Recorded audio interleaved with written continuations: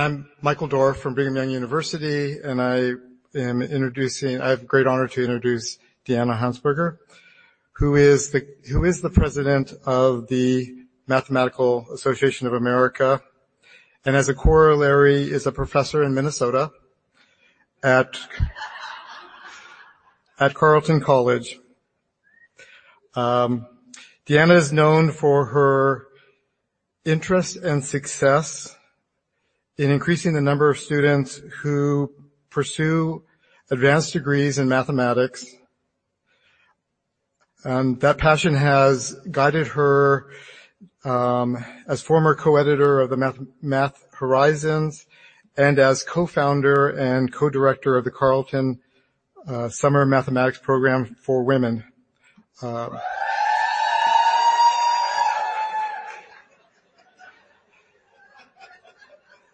And their corresponding fan club. And I have, and, and I want to briefly mention that I first heard of Deanna through the Carleton program, um, and ever since I have been... I look up to her as a great example for the successful things that she has done in encouraging women and helping women go on in mathematics. Um, Deanna is a fellow of the AWM and a recipient of their M. Gwyneth Humphreys Award for Mentoring. She's married to fellow mathematician Steve Kennedy, and together they have two grown children. Deanna. Thank you very much. Good morning. Oh, let me try that again. Good morning. Thank you. Welcome to our community. You are not alone. You belong here. These are powerful words. Could they be powerful enough to make traction on the age-old problem of underrepresentation by women and people of color in the field of mathematics? We like to think that what matters in doing mathematics, becoming a mathematician, being successful as a mathematician, is just the mathematics. That puts us all on a level playing field, where we're just compared by or judged by the mathematics that we produce or discover, the way we have for explaining mathematics to others and reaching them where they are. But we all know that that would only be true if we all started on a level playing field and had the same experiences in our classrooms and professional lives, and we don't. I want to talk to you about the importance of mathematical communities, about the importance of feeling like we belong, and about the power that increasing feelings of community and belonging can have to make progress on changing the face of mathematics. Michelle Obama wrote in her book, Becoming, "At Princeton, I needed my Black friends. We provided one another relief and support. Performing as well as everyone else is doable, of course. Minority and underprivileged students rise to the challenge all the time, but it takes energy. It takes energy to be the only Black person in a lecture hall or one of a few non-white people trying out for a play or joining an intramural team. It requires effort, an extra level of confidence to speak in those settings and own your presence in the room." She was speaking of finding her community at Princeton. A community is a group of people sharing a common interest or characteristics that is perceived as or perceives itself different from the larger society in some way.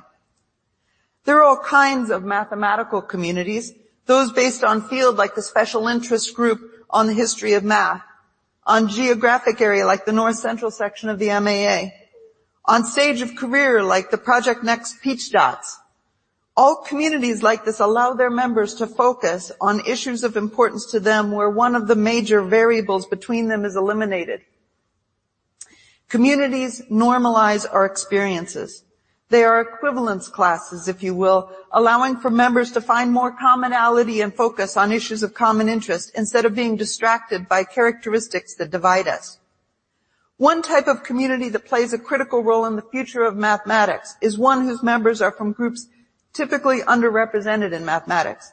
If you are a woman or a person of color, one way of increasing your identification with a group of mathematicians is to be part of a community where you are in the majority.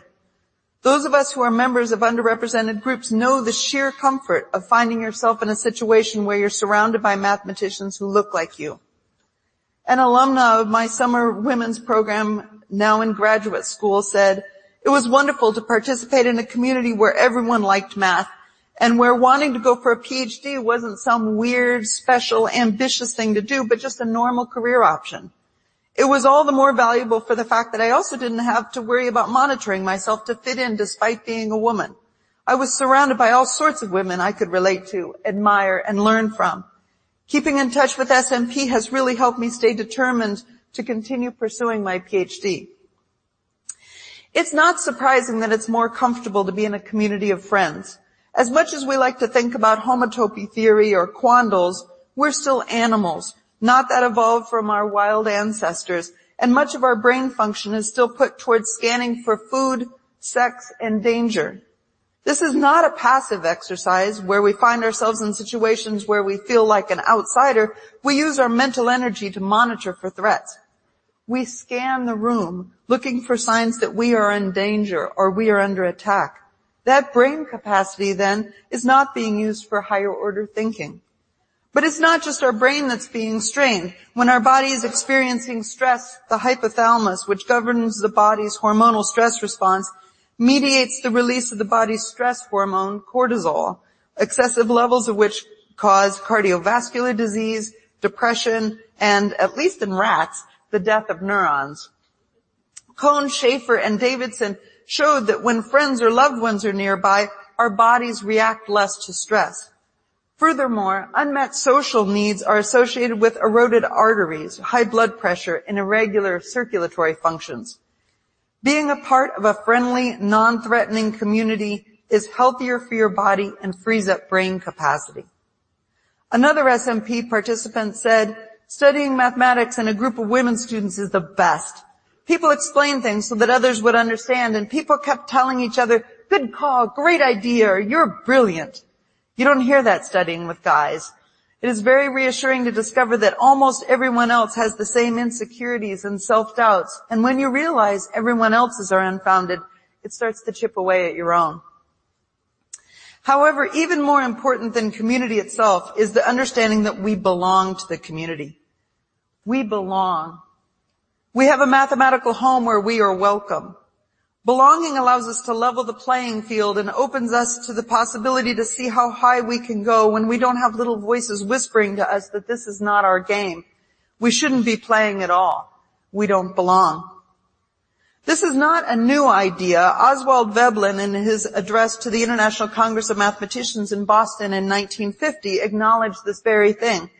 Every human being feels the need of belonging to some sort of group of people with whom he has common interests. What is belonging? The extent to which an individual feels accepted, valued, and legitimate within the community. A popular framework in sociology research, Abraham Maslow's hierarchy of needs, describes the hierarchical ordering of basic human needs. It contains belonging as a need that must be met in whole or part before feeling of accomplishment and achieving one's full potential can occur. Our sense of health, happiness, well-being, and motivation is tied to whether or not we belong to a community. A lack of community, that is isolation or loneliness, can harm a person's intellectual achievement, immune function, and health. Research has shown that even a single instance of exclusion can affect one's well-being, IQ test performance, and self-control. Gregory Walton conducted a series of studies demonstrating that a sense of belonging can affect motivation and persistence, even on impossible tasks. And what can feel more impossible at times than one's own research? Angela Duckworth says not talent, but a special blend of passion and persistence is the secret to outstanding achievement. In other words, without feeling like you belong in a community, you are less likely to hang in there when obstacles arise less likely to find the inner fortitude to continue, less likely to make outstanding achievements. The lack of a sense of belonging may explain much of the underparticipation by marginalized groups in mathematics. It's not surprising that you might opt out of a field in which you feel unwelcome or undervalued. Good, Rattan, and Dweck suggest that viewing mathematical talent as something one is either born with or not, or viewing mathematical ability as something that can be learned, may affect a person's ability to see themselves as belonging in a mathematical classroom or not. They were able to show that sense of belonging even more strongly than identification with domain, such as I am a math person, had the power to predict one's academic persistence. London and colleagues found that women who reported a lower sense of belonging in their STEM majors were more likely to switch out of their majors. Seymour and Hewitt interviewed women who left STEM majors and found that common reason was that women felt like outsiders in the traditionally male-dominant STEM fields. Unfortunately, this can fall into a negative feedback loop. Belonging is such an important human need. We're all constantly monitoring our belonging status. When someone has a low sense of belonging, any cues from their daily lives, a poor grade on an exam, peers questioning their choice of major, microaggressions within the classroom or department, eh, they may further erode their security in belonging. But once someone is uncertain of their belonging, they may look for other evidence that they don't belong and they may interpret ambiguous events as more evidence. This may impact women more because when men question if they belong, they can look around themselves and see male role models and positive stereotypes to quell their uncertainties. Again, in Becoming, Michelle Obama said, it's hard to put into words what sometimes you pick up in the ether, the quiet, cruel nuances of not belonging the subtle cues that tell you to not risk anything, to find your people and just stay put. People who are unsure or stressed about their belonging then have less time to spend doing mathematics because too much of their mental time and energy is spent on concerns that they do not belong in mathematics. A participant in the Infinite Possibilities Conference said, I think that that particular conference was a good, great place for anybody who is sort of questioning, did they really belong? Is this really the right place for me? Are there people like me who do this kind of thing? And I think it was a great place to just get reinforcement that if this is something you really like and you're willing to work hard at, there are people here who want to help you. And there are people that look like you, that agree with the things that you're interested in, that are willing to support you on your path. Where do we find communities in mathematics? In 2018, the Mathematical Association of America updated its core values statement to be more aligned with who we are. Included among our core values are building and strengthening community and advocating inclusivity and celebrating diversity by promoting mathematics for all. That is, we welcome all mathematicians and all mathematical enthusiasts into our community. The MAA supports a number of communities which resonate with the geographic location, interests, and career stage of our members. For example, every MAA member belongs to one of the MAA's 29 sections. From our smallest section, with just under 100 members and perhaps the longest name, Nebraska and Southeastern South Dakota, to our largest, Southeastern, with just over 2,000 members, each section has its own personality and traditions. Some have annual art exhibits or student poster sessions.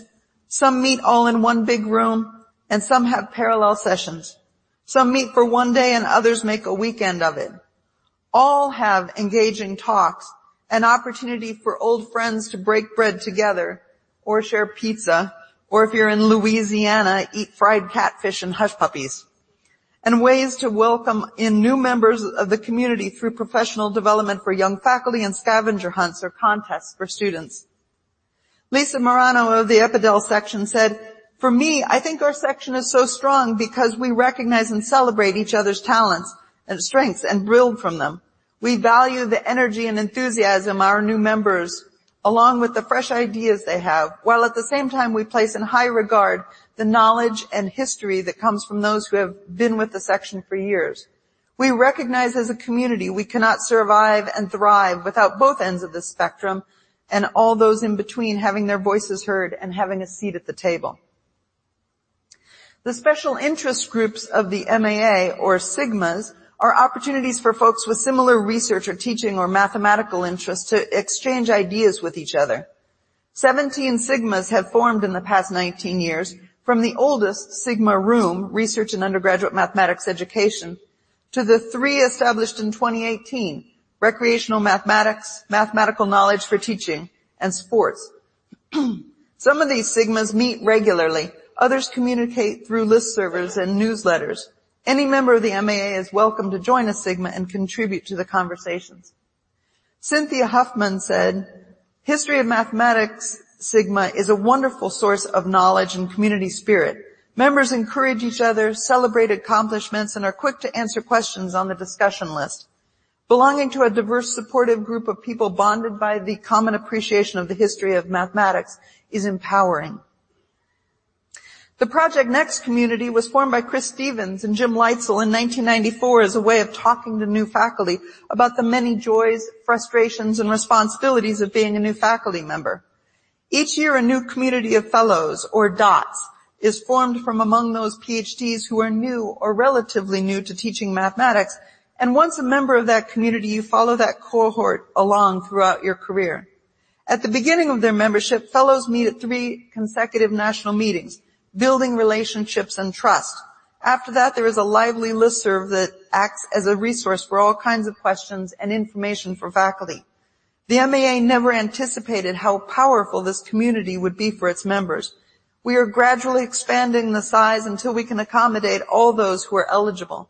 In proper celebration of Project NEXT's 25th anniversary this year, Project Next plans to accept at least 100 new fellows, its largest class ever. Chris Stevens on the creation of Project Next said, what we discovered was that there was an enormous need for a community, that these new PhDs valued being part of a nationwide community of peers, of people at the same stage of their careers and confronting similar challenges, and that they formed an extremely vibrant and supportive community as they moved through that part of their career. Current Project Next director Dave Kung said, we work hard to develop great sections about innovative, effective teaching. But the most valuable thing we provide is space for new math faculty to meet each other, to create a support group, to build community. An important type of community is one which predominantly serves members of groups underrepresented in mathematics such as the National Association of Mathematicians, which was founded to promote excellence in the mathematical sciences and to promote the mathematical development of all underrepresented minorities. Among other events, it holds an undergraduate math fest each fall to encourage students to pursue advanced degrees in mathematics. Congratulations to NAM on celebrating its 50th anniversary in 2019. Since its founding in 1971 by a small group of women mathematicians, the Association for Women in Mathematics encourages women and girls to study and have active careers in the mathematical sciences. They have worked to make the environment for women in mathematics more nurturing than it was in the 1970s and 80s, and they have played an important role in increasing the presence and visibility of women in mathematics. I remember fondly as a graduate student in 1990-91 being surprised to be exchanging emails with former AWM president Rhonda Hughes herself. And I was welcomed into the community by being invited to participate in AWM's graduate student workshop. The Society for Advancing Chicanos, Hispanics, and Native Americans in Science fosters the success of members of these underrepresented groups from college students to professionals in STEM. Its goal is simple yet powerful.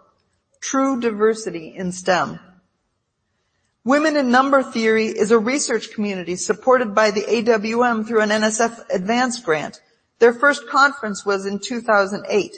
They hold regular conferences and provide a productive research community for women interested in number theory. Based on their success, other research communities for women in math have started in the past 10 years.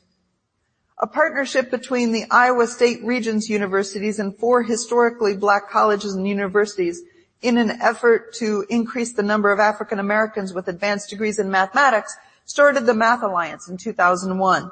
Now a national partnership, the Alliance provides a community for students and underrepresented groups, eh, students of underrepresented groups in mathematics and promotes their admission to graduate school. The Field of Dreams conference each year is a powerful example of the impact of belonging. One participant said, as a black female mathematician who values increasing diversity and inclusion in the mathematical sciences, I was extremely pleased with the number of people of color I saw at the conference. This is the first conference to which I have been where I saw so many, and this was affirming in that it was a reminder that I too belong in this field, and proves the face of mathematics is changing with my generation. For the first time, I networked with many female fellow mathematicians who look like me, and this powerful experience truly resonated with me. Executive Director David Goldberg said, if we were going to succeed in our goal of having significant and sustainable impact on our professions, then we would need to build a community of faculty to support this effort and to institutionalize best practices as part of the culture within graduate programs. Starting in 2005, Infinite Possibilities Conference is a national conference that is designed to promote educate, encourage, and support minority women interested in mathematics and statistics. This conference grew out of the dreams of three women, Leona Harris, Tanya Moore, and Nagambal Shah, who were looking to build a community based on the elements of their experiences that supported and empowered them in mathematics. Enhancing Diversity in Graduate Education, which began in 1998 as an REU directed by Sylvia Bozeman and Rhonda Hughes, runs a summer bridge program for women often women of color, who are making the transition between undergraduate and graduate school, providing them with ongoing mentoring and support. Participant Jill Jordan said, I have continued to learn how important community is for mathematicians. There is something so special about making connections through a common interest in math. Members of the EDGE community celebrate good times and help each other through difficult times. Carla Cotwright Williams said, participation in EDGE changed my life. The opportunity to live and learn amongst like-minded peers, all working towards a common goal, was a totally different experience than I had as undergrad. I was part of a community. I belonged. Interaction with the EDGE instructors, mentors, guest speakers, and fellow participants empowered me in ways that are immeasurable and priceless. Of these examples that I've given, the sections of the MAA date back to the origins of the MAA over a hundred years ago perhaps because travel at that time was much more difficult. Communities supporting a particular field of interest or subgroup of the population, however, took longer to come onto the scene, many in just the past 25 years. Why is that? As a profession, we don't set out to create these communities. Often starting these communities has been left up to an individual or a small group of individuals who want to make a change and are willing to put in the energy to do it. These communities play a vital role in the infrastructure of the American mathematical enterprise. What can and should our associations and our funding agencies be doing to support these precious cornerstones? The MAA, for example, has been developing MAA Connect, an online community networking tool and repository that is being tested now and we hope will go live before this fall. MAA Connect will allow communities to more easily form and members within communities to communicate with each other. Another reason may be that much of the research done by the social, social psychologists that I mentioned earlier has been done in the past 25 years. Perhaps we were waiting for evidence that these communities work. An NSF Includes grant led by a team of folks who have experience developing and running communities conducted research with two social scientists. A total of 100, uh, sorry, 1,531 past participants from programs listed here were identified. Of those, 198 were randomly selected for a quantitative survey. Of those, 34 who had earned or are working towards a PhD in mathematics were given an extensive qualitative interview. One of the questions they were asked was, do you think you would have stayed in mathematics without your experiences in enrichment programs, conferences in mathematics? Of those 34, 22 simply said no. Five were unsure. Three were unsure but said they would have been less successful and four said yes. The full report and two best practices documents appear on the website womendomath.org. Our concern should be the folks who would benefit from feeling like they belong to a community, but who don't have access to one. our students, our colleagues, ourselves? What should be done if we feel a need for a community that will support you, or you see a need for a community to support students within your own classroom or your department, or to support others? Create one. American novelist and professor emeritus of Princeton, Toni Morrison said, I tell my students, when you get these jobs that you have been so brilliantly trained for, just remember that your real job is that if you are free, you need to free somebody else. If you have some power, then your job is to empower somebody else. American mathematician, professor of mathematics at Dartmouth College, and MAA president John Wesley Young, who, with Oswald Veblen, who I mentioned earlier, introduced the axioms of projective geometry, in his retiring presidential address called upon all members of the association to do their part. The roots and trunk and branches of the tree of mathematics are quite as important as the blossom or the fruit, and the former must exhibit healthy life if the latter are to be produced at all. Any other attitude is so utterly stupid as hardly to merit attention. There is important work for all of us. The sin of the mathematician is that he doesn't, is not that he doesn't do research. The sin is idleness when there is work to be done. If there be sinners in my audience, I would urge them to sin no more. Whatever your abilities, there is work for you to do for the greater glory of mathematics. Creating a community may sound overwhelming, but it's really not. Just start small and let things grow organically. How does that work? Well, let me tell you about a community very near and dear to my heart, the Carleton College Summer Mathematics Program for undergraduate women that my that my colleague, husband, and fellow mathematician Stephen Kennedy and I started in 1995. In 1991, in visiting positions at St. Olaf College, Stephen and I and our St. Olaf colleagues were reading the very interesting and very depressing AMS Notices special issue on women in mathematics. We were all deeply affected by the stories and the evidence of the slow progress of women in the mathematical sciences. We wanted to do something to increase the number of women getting PhDs in mathematics, but we weren't sure what. Luckily for us, we were in a good place at a good time. During the 1970s and 80s, the St. Olaf Math Department, under the leadership of future MAA President Lynn Steen, Arthur Seebach, Loren Larson, and Ted Vessey, grew from a department with 18 majors a year to one with 120 from a faculty of seven to well over 20 when I was there in the 1990s. How did this happen? They intentionally built a welcoming community in the department for anyone who wanted to major in mathematics. The department was led by folks who had a big tent philosophy. A major in mathematics is not just for the strongest, best prepared students, but it's for anyone.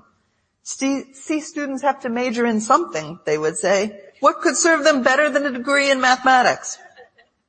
Students would not just click a box to become a major. They would sit down with a faculty member and make a plan for the rest of their four years.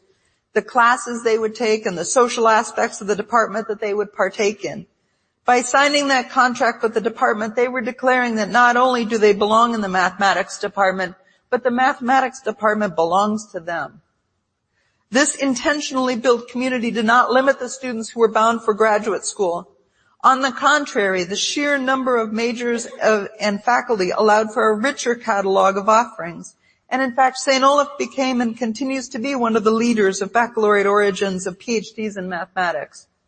It was in this ethos that Stephen and I were considering what we could do to support women in mathematics. Now I myself had had a very hard start as a graduate student and had only persevered because I knew that I wanted to teach at a liberal arts college when I graduated. And I'm nothing if not Iowa stubborn. Now, Angela Duckworth has put a much more pleasant and affirming name to that. Grit. I have grit. Had I not had such a clear picture in my head of my future, I doubt I would have finished my degree. I started to unpack why the first few years of graduate school were so unpleasant. When I graduated high school and knew I wanted to teach mathematics, I headed off to a small regional liberal arts college in Iowa. As a first generation college student, I didn't know that some institutions had more robust mathematics programs than others. I thought an undergraduate degree in mathematics was the same regardless of which college or university I attended. I didn't know what I didn't know, so I didn't know what questions to ask. I picked an undergraduate institution that seemed comfortable when I visited, and I didn't even consider looking at its offerings. This college was a great place for me, but it was not a great place to prepare for graduate school in mathematics. During my senior year as an undergraduate, I was accepted to Northwestern University. Frankly, other than not being required to submit my math GRE scores, I have no idea why I was accepted. At the upper end of my undergraduate math major, I had taken a reading course in Real Analysis 1 because Real Analysis wasn't offered at my school. And on my transcript, I had taken Abstract Algebra 1, but actually our professor had quit in the middle of the term, so it was more like half a semester of Algebra 1. I was unprepared to start graduate school. At Northwestern, when I visited as an accepted student, there were about 40 faculty two of whom were women, and there were about 40 graduate students, and I remember one woman. My entering class in graduate school was 12 students, and you might imagine that 11 of them were male, but that was not the case. My advisor, Don Saari, loves to tell the story about stopping by the graduate student chair, George Gasper's office the summer before my class arrived. He asked George how many women we had in the entering class, and George, who had a reputation for being a great guy but perhaps a little scattered, had said, oh, I don't think we have any. Don had expressed his frustration because hasn't, hadn't they as a department agreed they were going to try to increase the number of women? And shouldn't George be doing something about that? George said he had just taken the best 12 candidates. But when Don picked up the list and looked at it, he said, George, half of these are women. George was surprised. I didn't look like the professors or older graduate students. I didn't have the mathematical background of my colleagues. But in that entering class that was half women, I found my little community. I belonged. I studied, we studied together and worked together. We ate french fries together and blew off steam together. We formed a mutually supportive community. By our second year together, we were more confident and self-assured from our sense of belonging. So much so that we gussied up Lunt Hall and invited all the faculty and graduate students to the first annual Lunt Hall Ball. So while thinking in the early 90s about how we could increase the number of women earning PhDs, Stephen and I thought we should help them avoid some of the pitfalls that I had encountered. We weren't really sure what we were doing. But we did have the model of the St. Olaf Math Department inspiring us. We had seen the amazing power of an intentionally built mathematical community. We had seen its effects on the students and faculty who lived in it. We thought we could help women make the transition to and through graduate school with a two-pronged approach.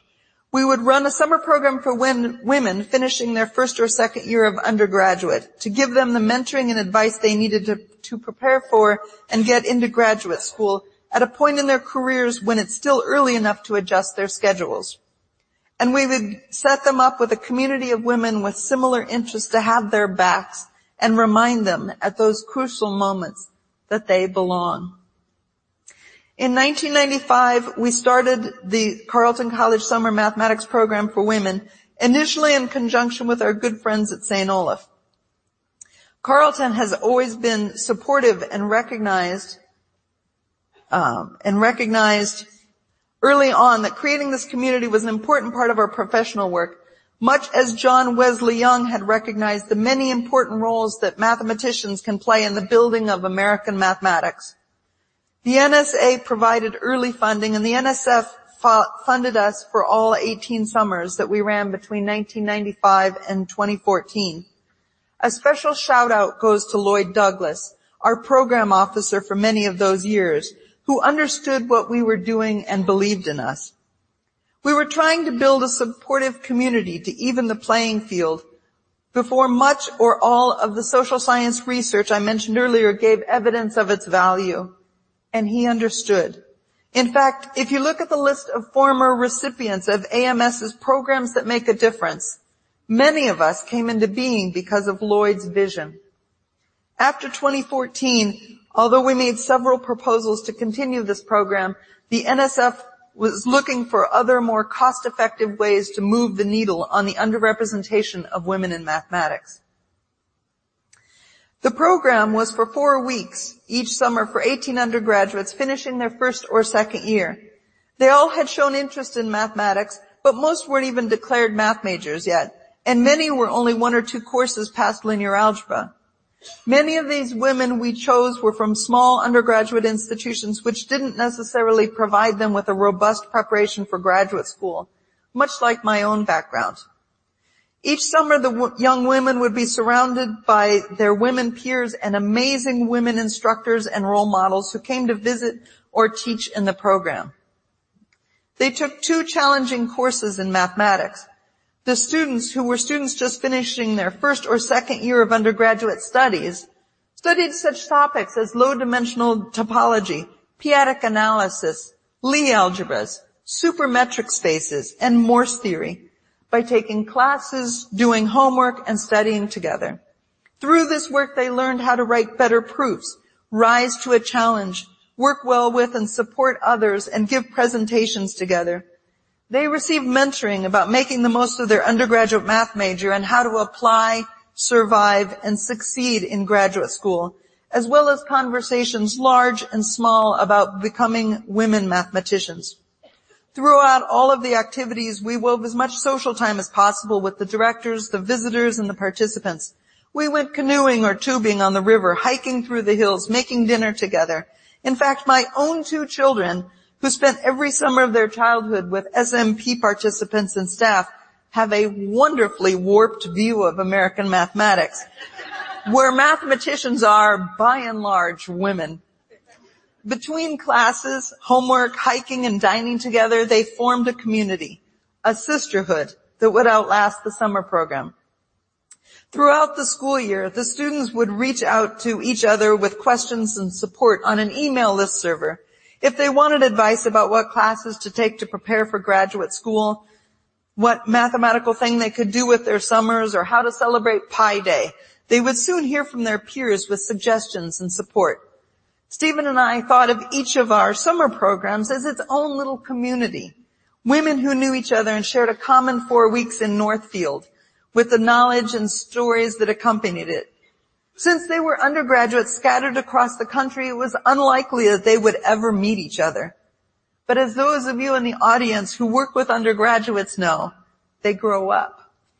Since our participants came to us when they had finished their first or second year of undergraduate, the time it would take them to finish a PhD would be seven or eight or so years after their SMP summer.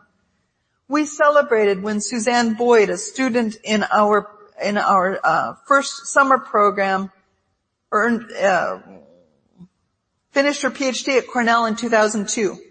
She wrote to our community, this past year wins by a mile the roughest, craziest, most frustrating year of my life award. Applying for jobs, finishing my dissertation, and arranging to move all at the same time. If any of you out there will be finishing your thesis sometime in the next few years, feel free to give me a call and chat about the process. It's okay if we've never met before. Just tell me that you went to SMP. By the start of 2005, we had seven members of our community who had earned their PhDs. Leading up to the joint mathematics meetings in Atlanta, Georgia that year, we heard from a few of our SMP graduates that they would be going to the JMM and wanted to see us. We contacted a local Italian restaurant and sent emails to all the list servers for the various summer programs that we were wel- that we were welcome to meet them for dinner. Then I began to worry what were we going to do with these women? They'd be at all different stages of their careers, and by and large, they wouldn't know each other. I made plans. Those of you who know me well will not be surprised to learn that I made lists of activities to help them to get to know each other. I was prepared. But Stephen and I were late for dinner. By the time we arrived, 10 minutes after the scheduled start, 30 some women were seated and chatting with each other with the ease of established friendship, though they had just met. The PhDs were giving advice to the graduate students who were giving advice to the undergraduates. There was talk of REUs and senior theses and choosing advisors and looking for jobs. There was so much talk, we couldn't have used any icebreaker activities if we tried. Their comfort came from their sense of belonging. This experience was an epiphany for us. We thought we had to play a more active role in manipulating a group into a community. But really, we just needed to get together some amazing women in a safe space and allow the community to form naturally. We also learned the value of a vertically integrated community. We didn't need to find established women at various stages of their careers to be a resource for our students. We already had SMP graduates at those stages who were more than willing to help out giving advice.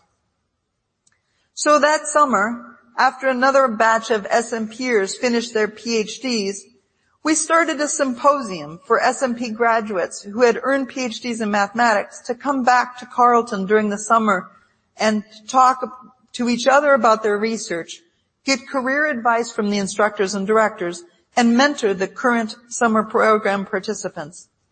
The first year we do, did this, I remember nine young women PhDs sitting in front of the 18 participants preparing to answer questions about graduate school. One of the undergraduates in the front row, a few feet from the nascent PhDs, looked back and forth between where she was sitting and where they were sitting a mere few, few feet away. She was clearly imagining them sitting where she was in the same program just a few years earlier. And she said out loud, wait, they all have PhDs? This is so cool. We continued the summer program and symposium, and with each year we'd rejoice in the new PhDs coming out the other end. A back of the envelope calculation shows that SMP alumni persist to a PhD at a rate much greater than non-SMP alumni. Comparing the number of women entering graduate school in groups 1, 2, and 3 departments of mathematics in the years 2001 to 2005, and the number of women finishing PhDs from those same departments in the years 2006 to 2010, shows that there is about a 26 persist, 26% persistence rate to PhD. The persistence rate to PhD for SMP alumni from 1995 to 2005 who entered mathematical science PhD programs is about 63%. This high, higher persistence rate was not a result of us cherry picking women from the strongest undergraduate institutions in the U.S. Our participants went on to earn PhDs from a variety of undergraduate institutions, including Holy Cross, Xavier, Gettysburg, Alfred, University of Akron, Kenyon, Kalamazoo, Pacific Lutheran, Huntington. They were finishing their first or second year as an undergraduate, and we only had four weeks to teach them any mathematics. But what we were able to give them that lasts a lifetime was information mentoring, and a community to which they belonged and with which they felt a connection. A participant said, my summer at SMP helped me become both more logical and more creative in my thinking. It helped me learn how to grapple with new and challenging concepts. And it allowed me to develop these skills in a community that was rigorous and challenging while still fundamentally very supportive. I think that last part is what makes SMP so special. How the program challenges you while also affirming that you, as a young woman, belong in the field. A few years later, we had some funds left at the end of a grant cycle and we wanted to make an opportunity to check in, our, in on our SMP graduates who were in graduate school. We were seeing students in the middle of their undergraduate education at the summer program, and then after they'd finished their PhDs in the symposium. We needed to check in on them in the middle. So with the help of SMPers, Jen Bowen, Catherine Crowley, Alissa Crans, and Pam Richardson, we started a graduate education mentoring workshop on the day before JMM. This was an opportunity for graduate students to get advice and mentoring on issues relevant to them during graduate school. They also presented mini practice talks and received feedback on their talks. This continued every January before the JMM. Around the same time, we were happy with how the symposium with SMP PhDs was going. The PhDs were great role models for the undergraduates, but weren't around them long enough. So we asked a couple of them each summer to come for a long period of time, two weeks to the whole month, and be mathematicians in residence. They would model by their very presence what it meant to be a modern woman mathematician. These MERS would spend their days doing mathematics in a quiet, airy library at Carleton, and they would spend their evenings and weekends in social time being threads in the fabric of the students' community. Our last addition to the structure of the program before we became defunded was to add an optional outreach afternoon to the already busy schedules of the undergraduates. I set it up so that they could go one afternoon during the summer to an enrichment program in a blue-collar town nearby. They played mathematical games with children who were recent Somali immigrants, and they literally tied in mathematical knots at-risk children at a nearby camp. We made it an optional activity because we already stretched the SMP participants in many different directions. But not to our surprise, when the sign-up sheet went around, all SMPers signed up to participate. They knew the importance of mentoring and community and wanted these kids to have a similar experience. Jen Bowen said, SMP was the beginning of my mathematical mentoring journey. I not only benefited from my mentors, but simultaneously this mathematical community facilitated me becoming a future mentor. I now serve as department chair at a small liberal arts college, advisor to many math majors, but also as part of the Posse Foundation as a faculty mentor to 10 students. SMP gave me the motivation to sustain a graduate student mentoring program for eight years at the JMM, and now an experiential learning program, Women Who Count, at my own institution. I am forever grateful and proud to be part of the SMP community. Pam Richardson said, my SMP family is incredibly supportive. I always feel like the community wants me to succeed and everyone will do what they can to make sure that happens. I gain lifelong friends, not just professional colleagues through SMP. Becky Swanson wrote, as a college sophomore from a tiny school in the middle of nowhere, I arrived at SMP thinking that I would learn some mathematics for a few weeks in the summer and that would be it. Little did I know that when I was what I that I was joining a lifelong community. I certainly learned some very interesting mathematics, but just as importantly, or more importantly, I developed friendships and made connections with other women interested in math. It was at SMP that my instructor, Karen Brooks, asked me if I was planning to go to graduate school. It was the first time that anyone had asked me that question. It was a life-changing moment in which I began to realize that I belonged to a mathematical community.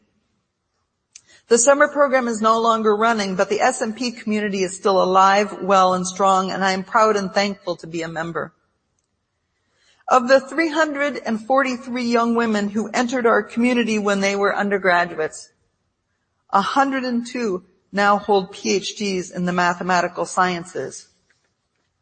Six more hold PhDs in cognate disciplines. About 80 more hold terminal master's degrees and 41 more are still in graduate school. That is, two-thirds of the students who came to SMP as first or second year undergraduates with some nascent interest in mathematics now hold advanced degrees in the mathematical sciences.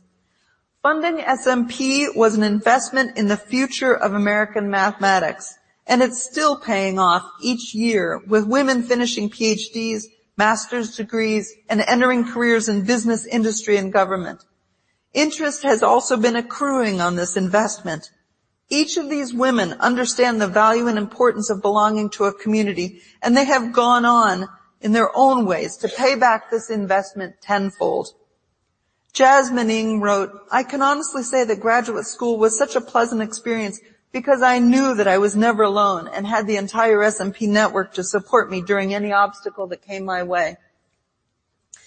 Melinda Lanius wrote, SMP is where I realized that I could be a mathematician and that this was a possible career path for me.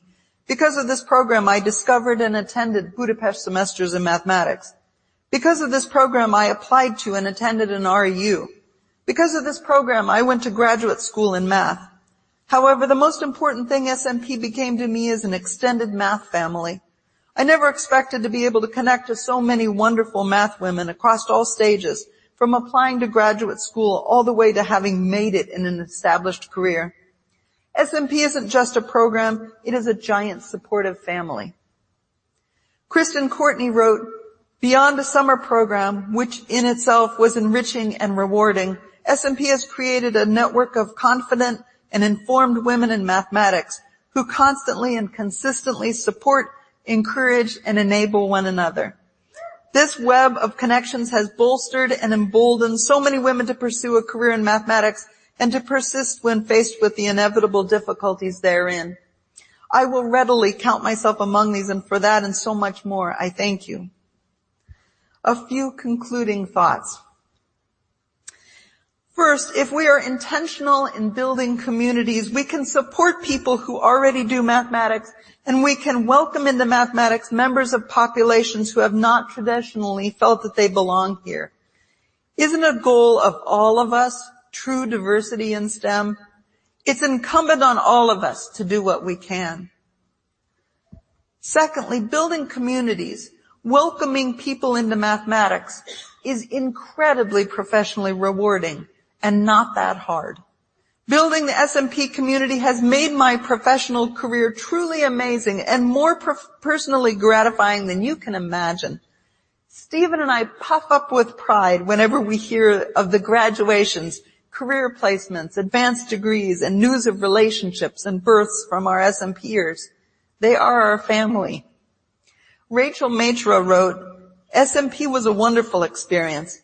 Thank you, Deanna and Steve, for this gift of community to a generation of women mathematicians. From the fascinating courses to the collegial environment fueled by Deanna and Steve's spirit of generosity, inclusion, and joyous adventures of mathematics, I remember SMP fondly and credit it as guiding force along my path to realizing a life in mathematics. Moreover, the positive effects of SMP did not end with the summer. Deanna and Steve have created an ongoing community through the symposiums and newsletters mathematics as a whole, women mathematicians in particular, and I personally owe them a big thank you.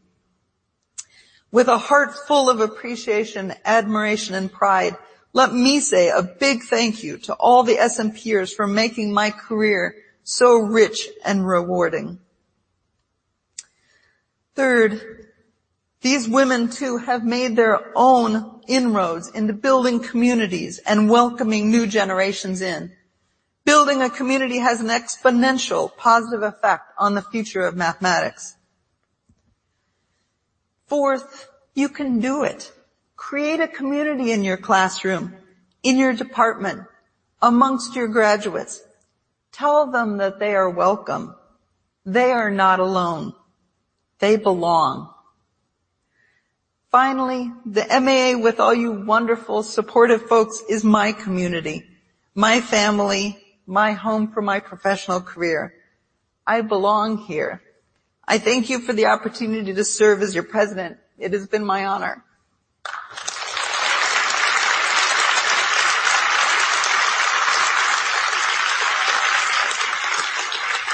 Thank you.